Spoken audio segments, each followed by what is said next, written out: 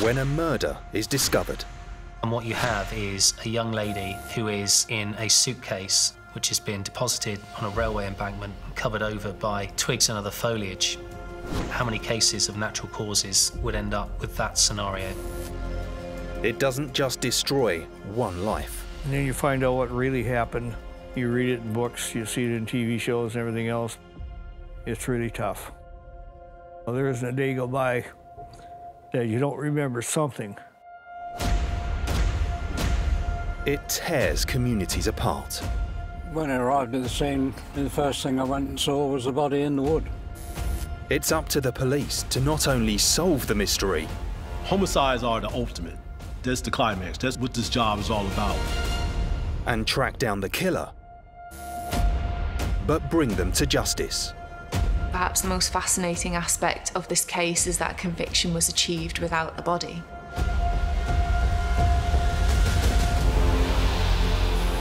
In this episode, a teenage boy is kicked to death on the street.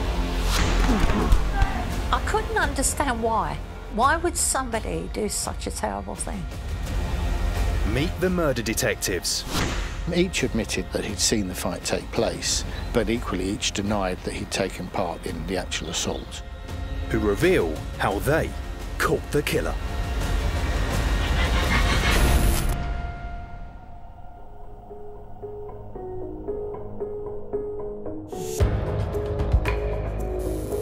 In the tranquil Surrey Hills, an after work night out for two brothers and their friend had ended in tragedy when one of them died in hospital following a fight with local youths. I got the phone call. I was at home and I was I was planning this trip away uh, down the Thames on a boat and packing and, and uh, literally the phone rang and uh, you just have to change your plans. DCI Colin Sutton was appointed the senior investigating officer on the case. The murder took place around about midnight on Friday, going into Saturday. They told me the victim was only 18 years old. His name was Christopher Donovan. That it had been a fight in the street with another group of youths on a busy dual carriageway road, although it was late at night and there wasn't much traffic about, and that he had been in collision with a car after being assaulted.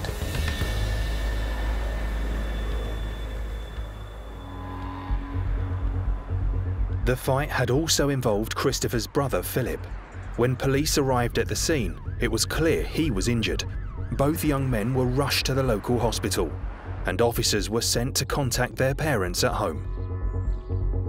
They said Chris has been involved in a fight, he's seriously injured. I thought it was a fight. And when I when I grabbed my car keys, he went, no, we're driving you. They drove us down a four-lane A road and that was closed. They got four lanes in the central reservation. Over the other side of the road were these policemen walking up and down and this policeman in the car, the driver kept apologising, kept saying, I'm sorry, we've got to go this way. I said, I don't know what you're apologising for. We, we know, just get us to the hospital. And when we got to the hospital, Philip's face is all blooded. I got to be honest, I went up and said, what happened? You said someone hit me. I said, you must have done something. You don't get hit for no reason. No one hits you for no reason. And I was more or less blaming him. Then we were taken into this room, weren't we? Philip described the gruesome details of the fight, and it was clear that Christopher had come off worse. Well, we hear what they did to Chris, the doctors came in and they said he's lost a lot of oxygen to the brain, didn't he? Yeah. We're looking at severe brain damage. And I'm thinking, I've got to get this, I've got to get that, we need this equipment, that equipment. Funny, that what goes through your mind, isn't it? And while I'm thinking all this, trees are four in the morning, the doctors come in with the police and um, chaplain said Christmas dead. I can remember it like it's happening now, and I'm sure that's true for you and all. Because that's the memories, they don't go away. Those things and the emotion of it, I can feel it now. As we're telling it, it's rising up inside of me. I ran out the door. I ran down the corridor. I remember running into the arms of a policeman down that corridor, and he was putting his arms out and he held on to me and he, he said, We're going to get them. That's all he said. It didn't take much, and then I started shouting and screaming. I can remember that very well and lashing out.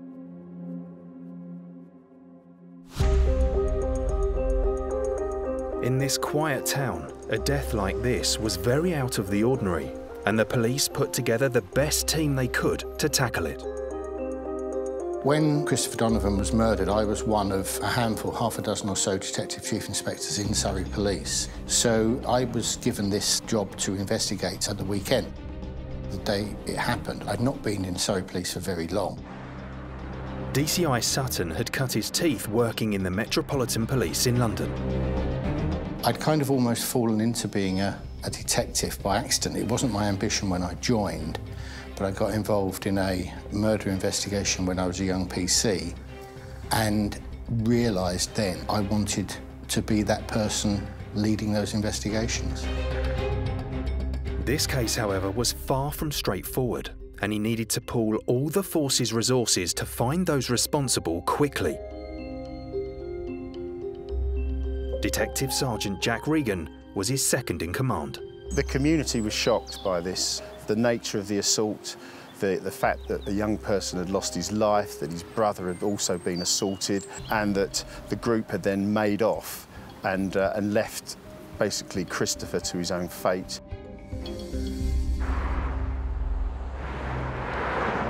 This is actually the spot where Christopher's body was found.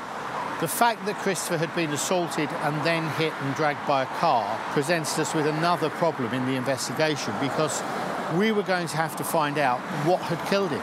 Was it the assault? Was it the accident with the car? Cause of death in the UK is typically established by the pathologist during the post-mortem. This will involve looking at the remains or the body to assess any external factors, any evidence that is immediately visible. The first thing the team needed to understand was exactly what had happened that night.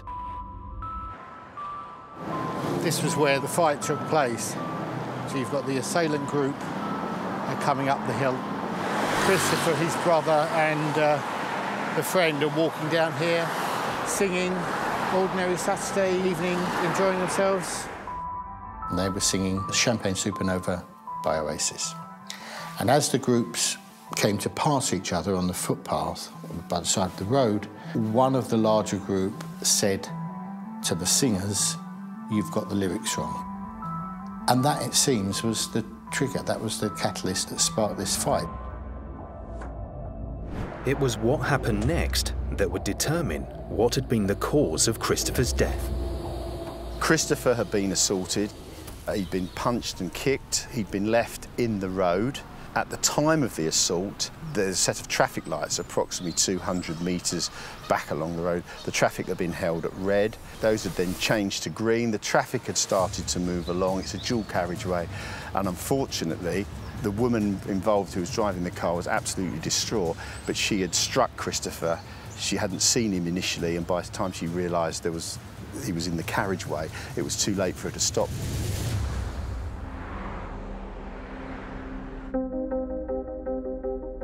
At the crime scene, officers had secured the area and were searching for evidence that might help catch the killers. They created a cordon with tape and officers to make sure that the area was kept sterile so that we could have the best chance of recovering scientific evidence. If there's a crime scene without a great deal of evidence that's apparent there to the naked eye. I would imagine the investigation would turn much more to the body of the victim to try and understand well, how was that victim murdered? But there's so many things that detectives would be thinking about doing, even if the crime scene appeared to not be revealing any clues in the first instance. Less than 12 hours after the murder, on Saturday morning in Guildford Police Station, Colin set up a major incident room. He was treating this as a murder investigation. The priorities, as I saw them, that were going to help us to solve this would have been the eyewitnesses. This was, a, although a busy road, it was essentially a residential area in quite a safe area where people would have been alerted by unusual noises and looked out because that's human nature. Officers had been taking names of local people since they had arrived at the scene. There were a large number of witnesses. We had both members of the public who'd been driving along the road at the time, including, unfortunately, the lady who had struck Christopher. But the gist of what they were saying was that there was at least three, possibly four assailants, who most of them saw kicking Christopher whilst he was in the road. The investigation was just beginning, but for Christopher's parents, the cold reality of what had happened that night was now hitting home. I can remember going home after that, after seeing Kristen, and thinking, oh my God, these people are on the streets. Who else are they going to hurt tonight? They've got to catch them quick. Please catch them quick.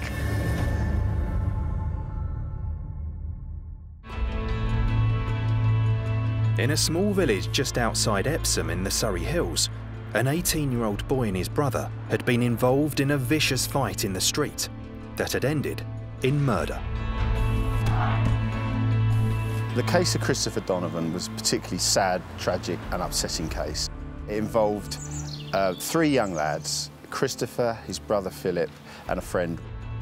They were walking just after midnight on a Friday night along the Ewell bypass when they were attacked by another group who were unknown to them.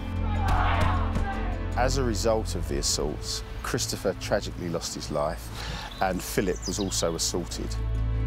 Senior investigating officer Colin Sutton had assembled a team to find the killers. They were starting to piece together a picture of Friday night's events. When I came here the day after Christopher was murdered, the first time I visited the scene, this was where I saw there were drag marks in the road. He'd been dragged by the car coming up the hill here. There were already flowers and tributes lying on these walls here. You see that this is now essentially a residential road. There's just lots of houses here. And although it's busy during the daytime, at night it wasn't so busy and the noise of the fight had alerted many of the residents here and they'd got to their windows and looked out. And that was going to be the start of how we investigated this and how we found Chris's killers because we had many more eyewitnesses than we're used to when we're dealing with these sorts of crimes. What the witnesses were telling us, as you'd expect, involved a certain amount of um, confusion because each of them had looked at it at a, a different time. Witnesses, witnesses are at the forefront of detectives' minds, and you know we can think of witnesses as, as meaning lots of different things. They, they obviously include eyewitnesses to the event or part of the fatal event, ear witnesses. They might include the paramedics that attended that might have vital information.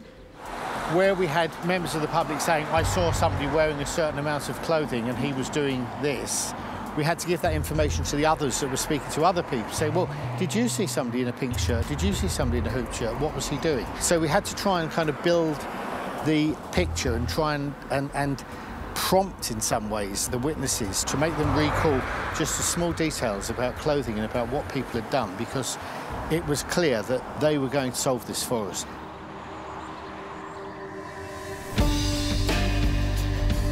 As the team listened to all the descriptions of what residents had seen on Friday night, they came across their first real clues as to which people in the group had attacked Christopher. Consistently amongst the varied accounts from the various witnesses, we were getting evidence of somebody wearing a pink polo shirt with a number on it, somebody wearing a hoop shirt with white trousers, another hoop shirt but definitely with dark trousers, and then somebody else in a dark jacket. And these were four kind of distinctive and distinct combinations of clothing that were being repeated time and again as we were speaking to witnesses. They were coming forward and saying that they'd seen this person wearing that clothing doing a certain act or kicking somebody or hitting somebody.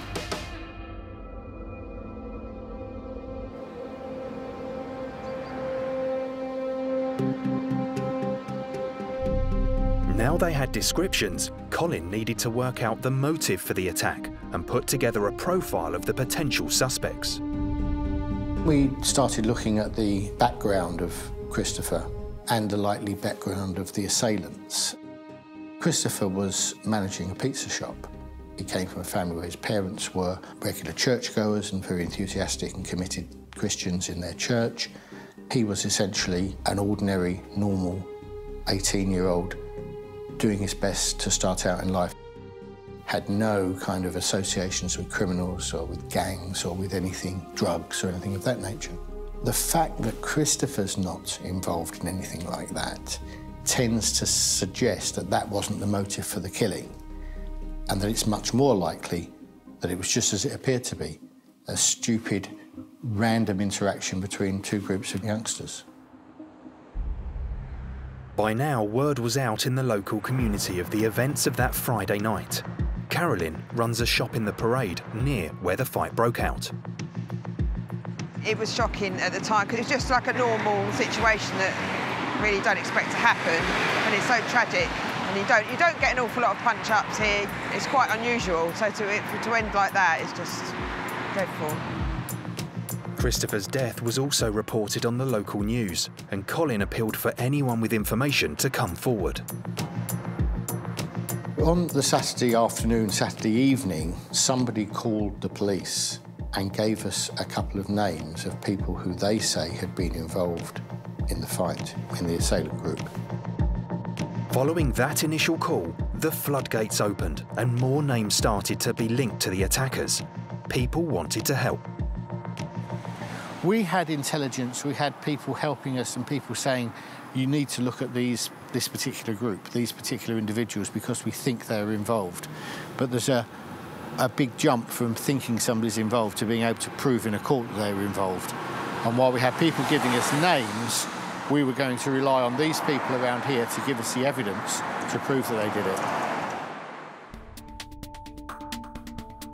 Colin decided he needed to contact some of these named suspects to see if he could link them to the attack. So if they've been involved in a fight, you might actually have material under their fingernails or blood on their clothing or hair or fibres, something that would tie them to your victim.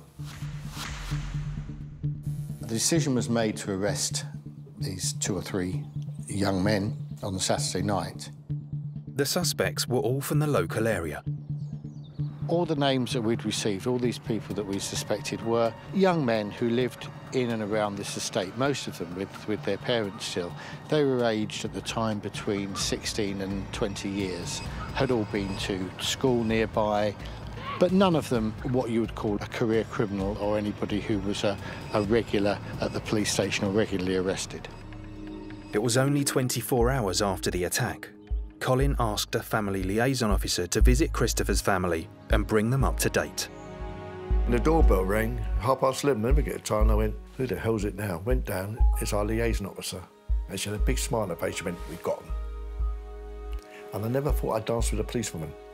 We were dancing in the hallway.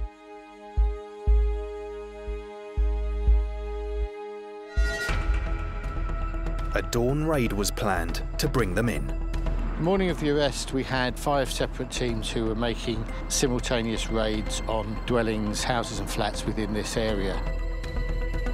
All the suspects were arrested simultaneously and searches made of the houses and they were taken to separate police stations so that they could be questioned and we could try to establish what went on. With suspects in custody, Colin and the team had a limited time to question them before they had to decide to charge them with murder.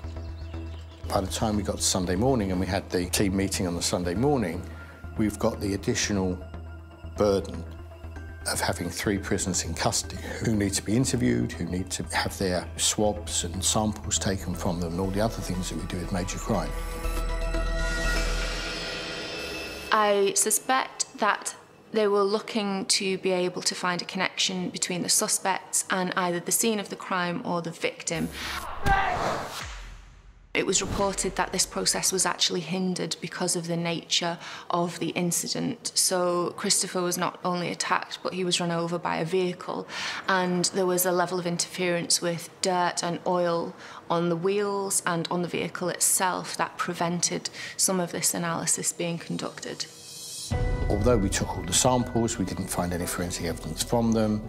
They as is so common, were advised not to talk to us and say no comment when they're interviewed. We know we haven't got enough evidence to charge them at the moment. The only thing that we can sensibly do is to bail them to come back to the police station at a later date. Colin and his team had now met three of the named youths Stephen Andrews, Ryan Seymour, and an unnamed younger boy. But without concrete proof linking them to the killing, they had to release them again. You know, we sat down after they'd done the interviews to discuss what happened, and the general feeling amongst us all was that we were probably looking at the right group of people. It was now a race to gather more evidence and bring Christopher's killers to justice. I just, I couldn't understand why. Why would somebody do such a terrible thing?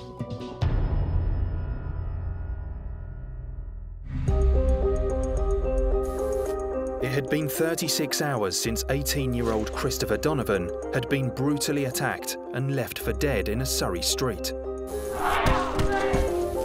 Police had identified a gang of youths they suspected might be responsible.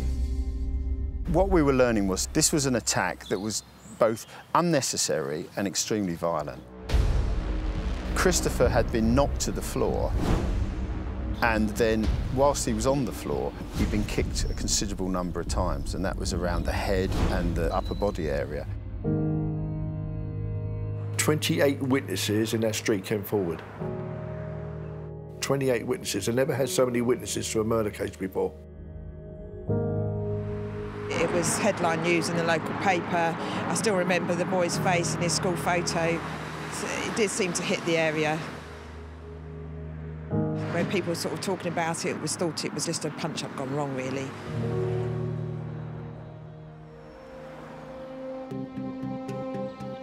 By Sunday, police had arrested and released several suspects and also now knew the names of most of the other youths who had been in the group of attackers.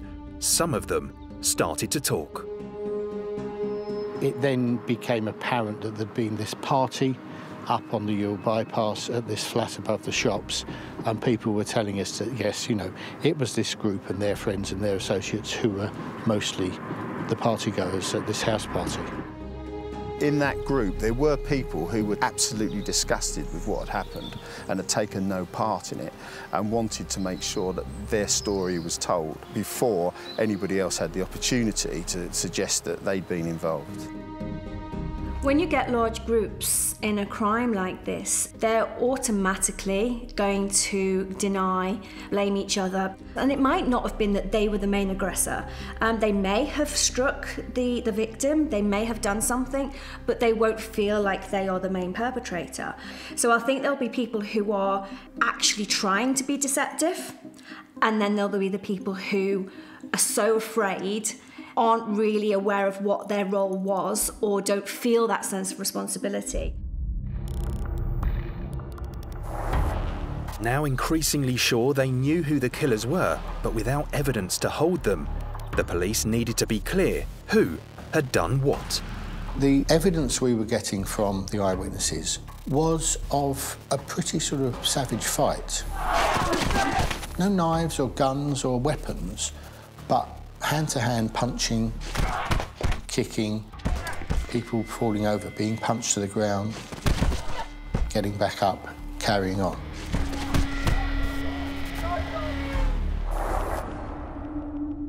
Christopher had been the main recipient of the attack.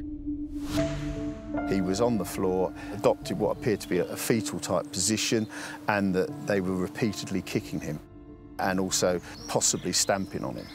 The brutality was considerable. This took place over a reasonably protracted time. Uh, it was going on for a whole minute. So we had pretty good information as to what went on and what was happening in the fight.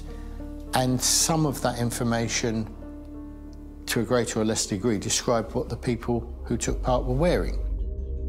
You know, it came down to a problem of analysis, really. That it's something you do just by as you might imagine, drawing up a matrix and, and saying, you know, witness A says I saw this happening, and across the top you list the clothing. And so you end up with blue and white hooped t-shirt. Witness A says they saw him kick the man in the green jacket. Witness B said they saw him punch him. Witness C didn't see him do anything at all. And so on. And eventually you can build a sort of a composite story as to what must have gone on. By doing this analysis, we were able to kind of work out who had done what. But that who only related back to clothing. It didn't relate to an individual.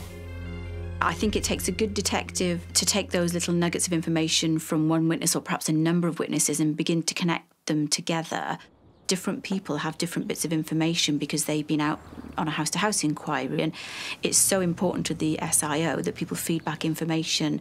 And then it's the SIO's job with, with his senior team to sort of sit back and think, OK, what have we got here? Who else might we be able to speak to in that street that might have also heard something at three o'clock in the morning that might be important? So, yeah, lots and lots of bringing together little tiny bits of information can paint the picture quite clearly. The team had been searching the local area for CCTV cameras that might have caught the events of that Friday night, so they could put names to the descriptions. We had CCTV images from the petrol station here, which came out across the forecourt. Although the petrol station was closed at the time, it was able to cover this footpath and just about the other side of the road. So we were able to identify the main part of the group as they'd walked towards the party. When we looked at the CCTV from the Esso garage, it just showed three young men. It didn't show the whole group. So we we're kind of half the group missing. And that meant we had to cast the net more widely around here. And that resulted in my officers going to the station down at Stoneleigh and finding that half the group had actually been on the train, come back from Clapham Junction to Stoneleigh, and they'd met up down there uh, where the party was taking place. As the local community heard about the initial arrests, more information came into police that allowed them to further track the suspects' movements. It was a phone call in from somebody who lived on the Watersedge estate where the bulk of the uh, assailant group lived. And they said that three of them they knew had gone on the train to Clapham Junction to go and buy some speed, I think. We had CCTV from the railway station. The group that had travelled by rail had then gone to a nearby off licence and had bought some alcohol the, to take to the party. So we had CCTV from there and we also had CCTV which showed the initial group, minus those others that had travelled by train, walking along the uh, Ewell bypass. We had good, clear CCTV images of their clothing. That fed in nicely to information we were getting from the house-to-house inquiries. The team now had footage of all the suspects they believed were involved in the fight. So you've got three from that direction, three from that direction. They meet together here, they get some beer, they go into a party. Our group is complete. We've got all the people who are described by our witnesses together an hour or two before Christopher is murdered. With the events of Friday night mapped out and evidence tying the suspects to the scene, the team were closing in on the killers. Once we were able to look at the CCTV footage and take the the best still frames that we could to start identifying clothing, it became clear that some of the distinctive clothing that the residents here were telling us they had seen on the assailants when the attack took place, we could see that clothing in our CCTV stills. With what Colin now felt was enough evidence to definitely link the suspects with the crime, the decision was made to arrest them again. This time, however, the arresting officers also had another objective. When they were first arrested and we didn't have the information from the eyewitnesses about clothing, then the officers were just looking for the normal sort of things like bloodstained clothing or weapons or that sort of thing. When we went back, we could be much more discriminating about what we took. We knew that we were looking for certain items of clothing, certain distinctive items of clothing that would tie in with what our witnesses were telling us. If they could find these items, they could tie their named suspects to both the scene of the crime and the witnesses' descriptions. There were things that were unusual, things that were quite distinctive. A pink polo shirt with a large blue number two on the back, a blue and white hooped shirt, a black and white hooped shirt. And so once we found those in the possession of people that we say other people told us were there at the time, then the case begins to mount up. The prime suspects were again in custody, and this time the police hoped they had enough evidence to charge them with the murder of Christopher Donovan. After the gang were arrested for the second time, we presented them with the increased amount of evidence that we'd found. With the new CCTV evidence, the team could show that the suspects were in the area and wearing the clothes seized at their houses. Each admitted that he had been there, that he'd seen the fight take place, but equally each denied that he'd taken part in the actual assault. Colin charged their three prime suspects with murder. Now he had to convince a jury it was their actions that had killed Christopher.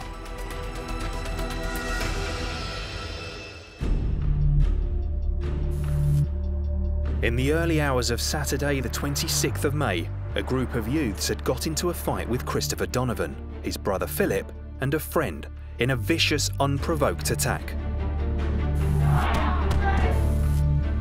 Christopher later died in hospital before his parents could see him. You get up in the morning and everything's fine, and then at the end of the day, your whole life has been thrown out the window and you can't get a handle on anything. That's the way it is. It's that quick. Your life is never going to be the same. An officer had promised the family they would find those responsible, and only two days later, DCI Colin Sutton and his team had arrested a number of youths they believed had been responsible for killing Christopher. So we have three charged. Of those, two were charged because eyewitnesses had been firm in saying to us the men in the striped t-shirts struck Christopher Donovan and they had contributed to his death. The third man, wearing the black leather jacket and identifiable because of a baseball cap, had been seen by witnesses to throw a punch. We weren't sure that he'd punched Christopher Donovan. He was actually the only man against whom we got any forensic evidence because the leather jacket which he was wearing was found to have a speck of blood on its cuff. That blood came not from Christopher Donovan, but from his brother. Now, legally, there is a rule which is known as joint enterprise. And that says that if you are in a group of people and you together attack somebody else and somebody dies, if you're all in it together, you're all part of the same action in attacking those people, then you are all guilty of whatever consequences come of it. So for that reason, although we only ever proved that this man in the leather jacket had struck Christopher Donovan's brother, he was still able to be charged with the murder. It was a breakthrough. The police believed they had their killers, but the suspects were denying having worn the incriminating clothes the night of the fight. Realising that clothing was key to this investigation, we had to devise a system to get that clothing to these different scenes. Uh, and how could we do it? What we had to bear in mind was the clothing that had been seized had been to the forensic laboratory. So, uh, undertaken tests, we don't know what tests they consisted, chemicals had been used. So, therefore, it was not practical to expect people to put that clothing on and take them to these scenes. The obvious solution was to get tailors' dummies, mannequins, put them on those, we could bring them to each of the scenes, we could transport them and we could then use them to show that the clothing we had was the same clothing as the CCTV was showing the group members were wearing at the time. On the one hand, you have the CCTV image taken on the night that Christopher Donovan was murdered, half an hour before he was murdered. Here are their clothes in front of the same camera at the same time of night, same lighting conditions. Look, it's identical. We've got the right people, we've got their clothes. It's these men that killed him. Colin was hoping this was what was needed to convince a jury they had the right people, but they had one more piece of evidence to obtain. There was a question as to whether or not the causation for an offence of murder could be established. Is it fair to say, is it right to say that legally those who assaulted him, those who punched him, are legally responsible for his death? Colin took the parents to see the coroner to discuss Christopher's injuries.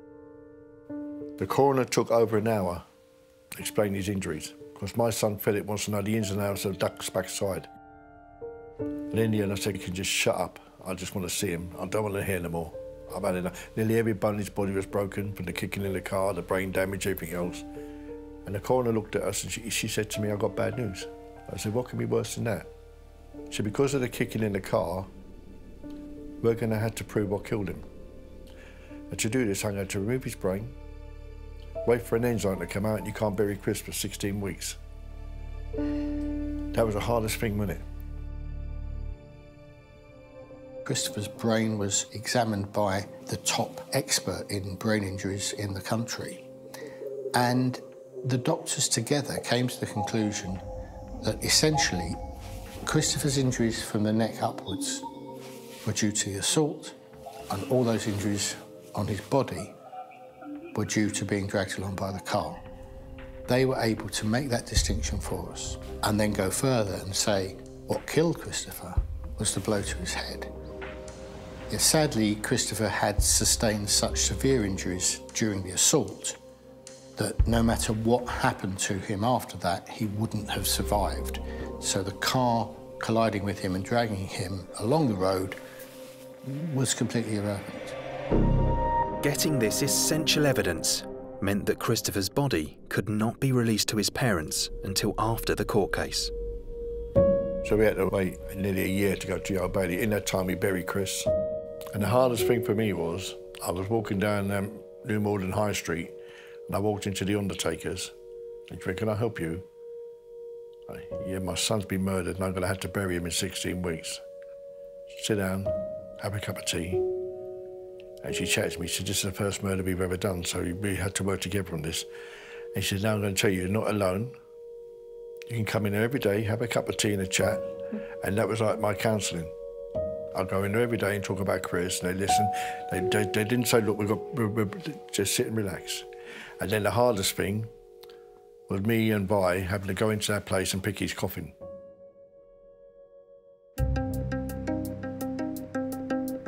The initial hearings for the suspects, now named as Stephen Andrews, Ryan Seymour, and an unnamed minor, were held in Guildford Crown Court.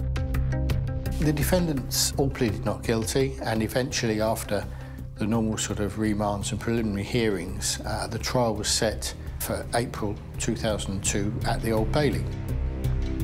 As evidence was presented in the Old Bailey, the suspects continued to insist their innocence. During the trial, the three accused really had very little contact with each other. They were each blaming each other for the assaults, denying that they were involved. They were going to use a cutthroat defence, which basically means that I don't accept anything, I blame the others. But of course, the danger of a cutthroat defence is that you never know what the other person's going to say against you. We had a situation, for example, they'd gone to London to buy drugs. Initially, it was suggested it was cannabis, but in fact, one of the uh, defendants, in blaming a co-defendant, said, no, the reason we went there was he wanted to get crack because he says nobody would go to Clapham Junction to buy cannabis. So we had a situation, whilst they were blaming each other, they were also effectively stabbing each other because they were trying to get themselves off of the murder charge by blaming one of the other defendants. Christopher's parents were in court for most of the trial. The hardest is listening to the lies. I was wearing that jacket, no, he was wearing that jacket, and it goes on and on. Six weeks of lies. You're putting your trust in the, the evidence the police have got. You're putting your trust in not just Colin Sutton and the whole of the police, that they got everything right.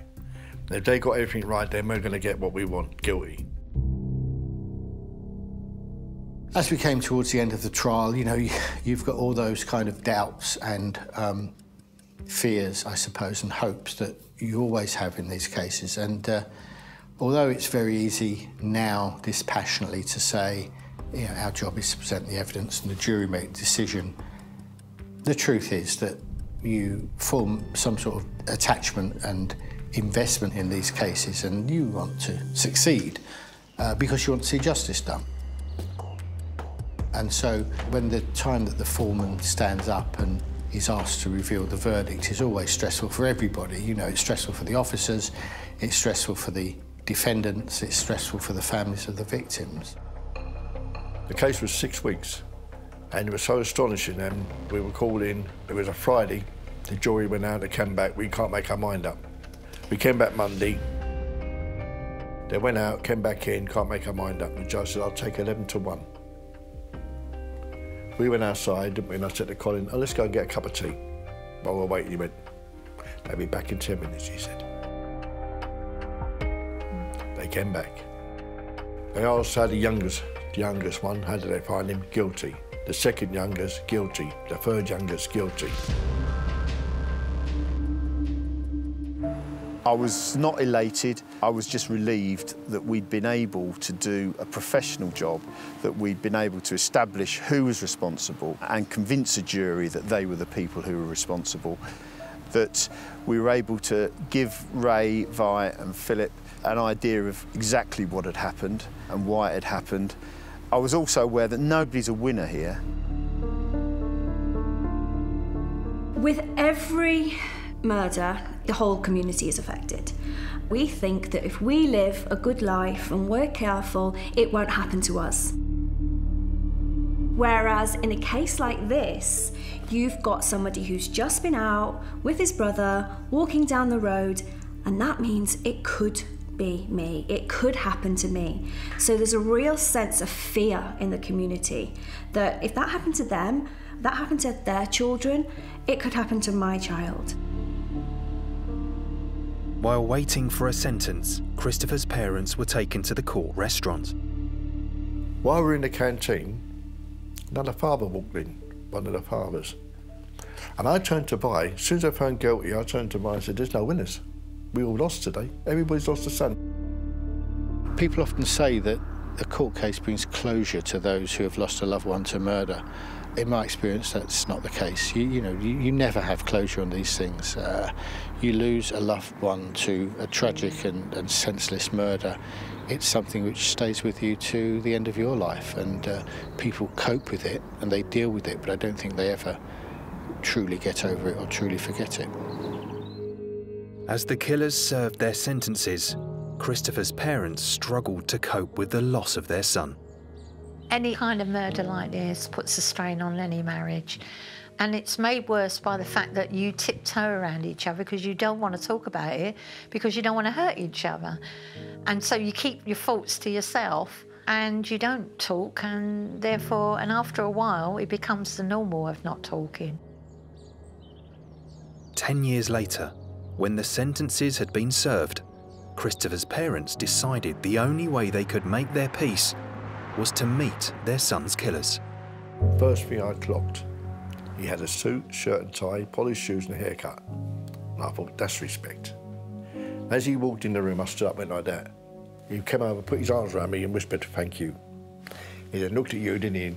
May I hug you? And I can't believe I said yes.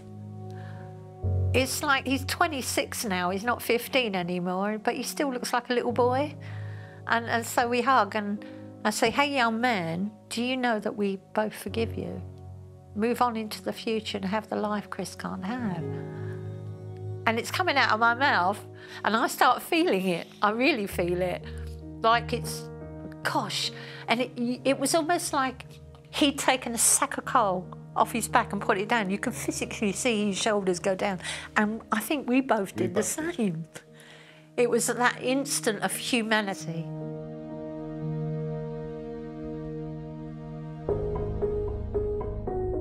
when the young men were convicted of his murder, there was a certain degree of relief, I think, on the part of Christopher's family that at least justice had been done. But of course, justice being done never brings back your loved one that's been murdered, and they've had to deal with that in the subsequent years and have dealt with it in a remarkable way.